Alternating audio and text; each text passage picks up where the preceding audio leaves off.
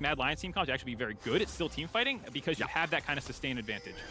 Alrighty, let's rock and roll. We're on to Summoner's Rift for the first time here in the World's 2022 play-ins, and we're already oh, no! gonna get first blood. 44 seconds in, first blood over to Nisqy. Oh no, Jelly just face checks Kaiser, gets stunned up. You have the Glacial Augment to make sure it was easy for Mad Lions to collapse on top of him. They get that kill. No Summoners blown other than the Ignite on Kaiser. Jelly just kind of accepted his fate there, but